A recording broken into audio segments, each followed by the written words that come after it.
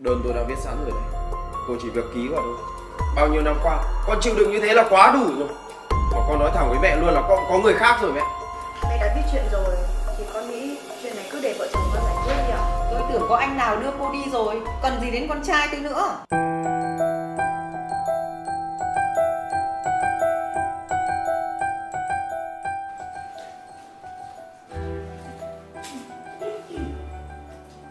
Mẹ Con có chuyện muốn nói với mẹ Chuyện gì vậy? Mà mẹ cũng có chuyện muốn nói với con đấy. Chuyện của con là Con muốn mẹ chấp thuận cho việc Con cả như ly hôn. Đây cũng là cái chuyện mà muốn nói với con đấy. Mẹ cũng biết chuyện rồi ạ. Ở cái nhà này Có chuyện gì mà mẹ không biết? Minh à Hết tình thì còn nghĩa. Mẹ không muốn con đi vào cái vết xe của bố con. Vợ chồng Có gì không nên không phải thì đóng cửa bảo nhau. Nhưng không được nữa rồi mẹ. Con không thể tiếp tục được nữa. Sao? Vì lý do gì Mà anh cứ nhất quyết phải bỏ vợ anh thế? Mẹ thấy đấy. Cô ta có cho nổi con một đứa con không? Bao nhiêu năm qua con chịu đựng như thế là quá đủ rồi. Mà con nói thẳng với mẹ luôn là con có người khác rồi mẹ. Sao? Sao con lại làm thế? Mà Mà cái Như nó đã biết chuyện chưa? Chuyện này con đã nói với cả cô ta rồi Đơn con cũng viết sẵn. Ngay ngày mai con sẽ đón Thư về đây Để tiện chăm sóc cho cháu đích tôn của mẹ. Như Con ngồi xuống đây. Sao lại có chuyện như vậy à con? Con ơi Mẹ Mẹ không muốn con đi đâu hết.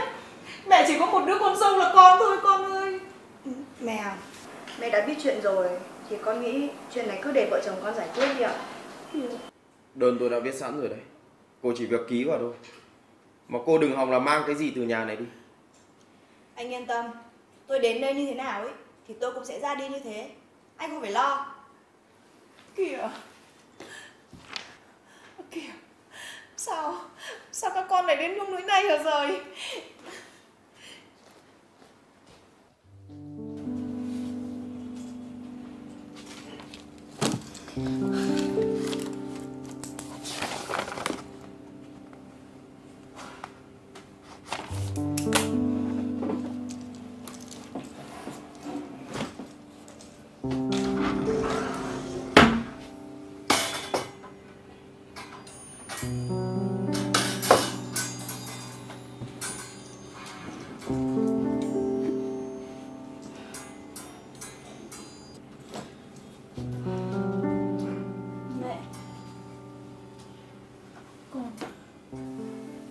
Con đã suy nghĩ kỹ chưa Chuyện này Còn có cách nào giải quyết được nữa không con anh Minh, anh ấy đã quyết như vậy rồi. Mà bao nhiêu năm qua, con không làm tròn bổn phận của một người vợ. Nên anh ấy có người mới. Cũng là điều dễ hiểu mà mẹ. Con chấp nhận ra đi mẹ ạ. Thôi Con đã quyết như vậy rồi thì mẹ cũng không biết nói gì nữa Mẹ chỉ có một mình con là con dâu thôi Sau này Con như thế nào Con cũng phải sống cho thật tốt nhá Mẹ, con sẽ thường xuyên về thăm mẹ mà mẹ.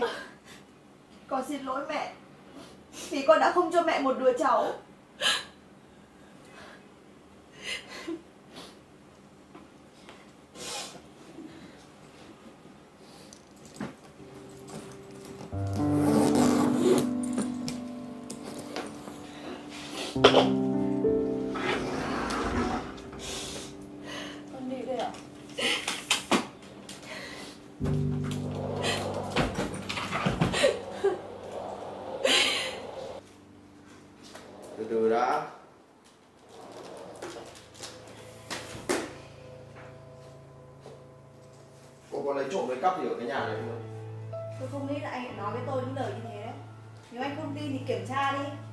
Mà đơn ấy, tôi cũng ký để trong phòng ngủ rồi đấy. Tôi nói đấy để xem cô phản ứng thế nào thôi Biết điều như vậy là tốt rồi. Cảm ơn cô đã buông tha cho tôi. Bây giờ ấy, thì cô có thể ra khỏi ngôi nhà này được rồi. Vậy chúc anh ở lại hạnh phúc nhá. Nhưng mà sẽ có một ngày Anh sẽ phải hối hận với những gì mà anh đã làm với tôi đấy. Không bao giờ chuyện đấy đâu. Cút ngay ra khỏi nhà này. Làm việc gì anh phải nôn nóng thế Đằng nào khi tôi đi khỏi đây rồi Anh chả đón cô ta đến đây luôn à? Cô cô cút đi. Minh Còn thôi đi. Dù gì đây cũng là vợ của con đấy. Mẹ à Mẹ ở lại Nhớ giữ gìn sức khỏe mẹ nhá. Con đi đây ạ Con chào mẹ. Như Như ơi Con ơi là Con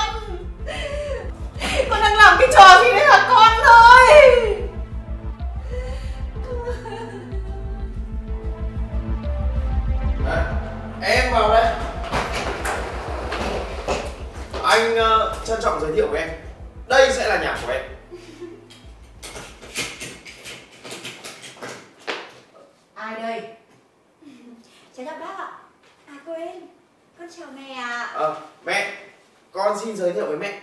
Đây là thư hôm nay con đưa cô ấy về đây là để cho con tiện chăm sóc hai mẹ con cô ấy á. Từ nay về sau có gì không phải Mong mẹ bỏ quá cho con ạ. Ai là mẹ cô? Đúng là cái loại trơ trẽn ờ. ờ, thôi em ngồi đây nghỉ ngơi đi nói chuyện mẹ anh. Đi cất vali Vâng ạ.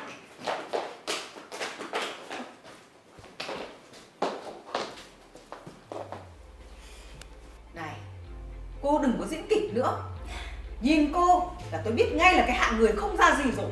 Bác nói vậy là ý gì ạ? Bác nên nhớ, đứa con trong bụng cháu chính là con trai của anh Minh. Và cũng chính là cháu đích tôn của bác đấy. Cô ấy Cô chỉ lừa được thằng con trai tôi thôi. Còn với tôi ý, Cô đừng có mơ. Mẹ mẹ không thể hòa thuận với thư được à? Thôi em đi vào phòng nghỉ ngơi đi. Anh dọn phòng xong rồi đấy Mẹ ơi, mẹ con vào đây. Đứng đây một lúc nữa Chắc mẹ con bị gió độc. Quật nó chết mất mẹ ạ.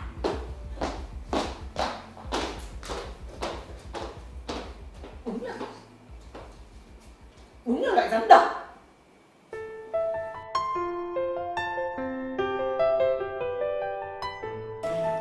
Anh ăn như này. Mẹ ăn đi chứ mẹ. À, hôm qua có đi siêu âm đấy Bác sĩ bảo là con phát triển tốt lắm đấy anh ạ. Đợt này anh hơi bận thế cho nên anh không đưa em đi bệnh viện được.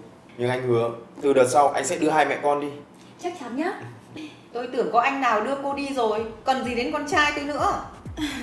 Mẹ này, đấy là anh trai của con thôi Có phải là ai xa lạ đâu mà mẹ nói thế à mẹ? Anh trai gì Mà ôm ôm ấp ấp đưa nhau lên taxi thế?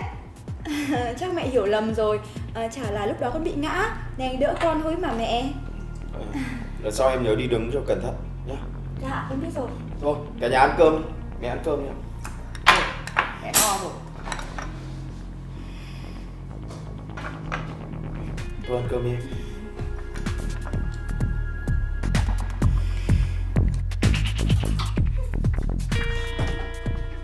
Cậu này Nó làm cái gì đây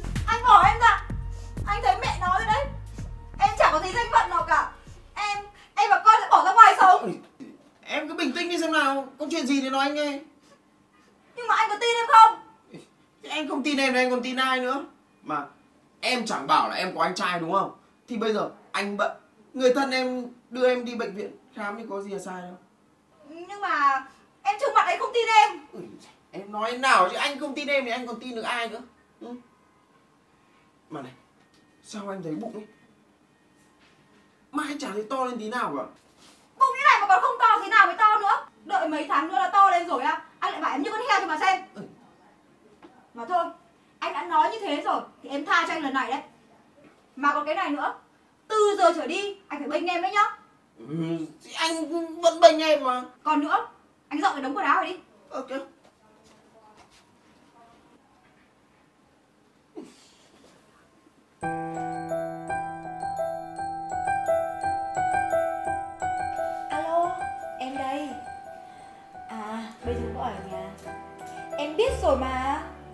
Em đã bảo anh ta chuẩn bị ký vào cái giấy chuyển tiền rồi. Bán cả ngôi nhà nữa chứ sao nữa. Em biết mà. Thế nhá. Cô Cô đang nói cái gì đấy? Tại sao bà lại về? Bà nghe những cái gì rồi hả? Đủ để biết được bộ mặt thật của cô. Được rồi. Đã thế tôi cho bà chôn cùng những cái bí mật của bà luôn. Cô Cô định làm gì con Làm gì à, à. Oh!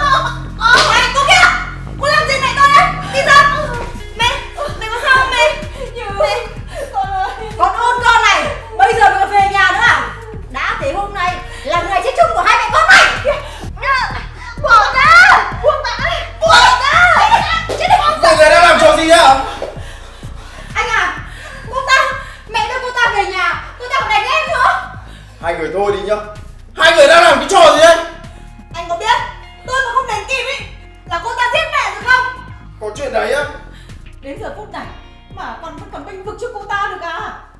Không phải đâu anh. Rõ ràng em về nhà thì cô ta đã bóp cổ mẹ. Em cứu mẹ thì cô ta đánh em.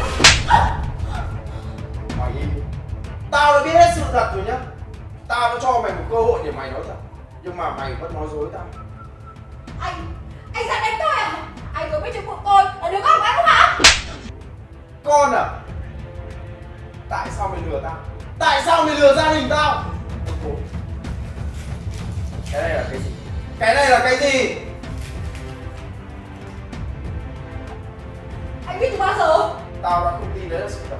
Nhưng hóa ra nó lại là sự thật. Minh à Mẹ có chuyện muốn nói với con. Chuyện gì hả mẹ? Đây là hồ sơ khám bệnh của con. Đáng lẽ ra mẹ không nên giấu con. Thực ra Con Con bị vô sinh Khả năng của con là rất khó. Cái gì? Chuyện này không đùa đâu mẹ ạ. Con xem đi. Đúng ra Mẹ phải nói với con từ lâu rồi Để cho vợ chồng con Không đến nỗi phải bỏ nhau. Tuy nhiên nó là người tốt Nó ngoan ngoãn. Nó phải chịu đựng bao nhiêu năm nay rồi đấy con ạ. Nhưng mà thế còn thư ạ nếu như mà con bị vô sinh thì sao thư mang bầu được ạ? Mẹ đã cho người điều tra.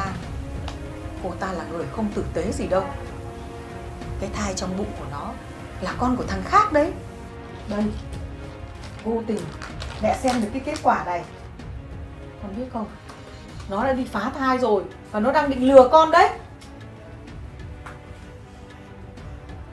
Chuyện này con không tin đâu còn không tin mẹ sao? Được rồi, Đã thế, Mẹ sẽ chứng minh cho con thấy.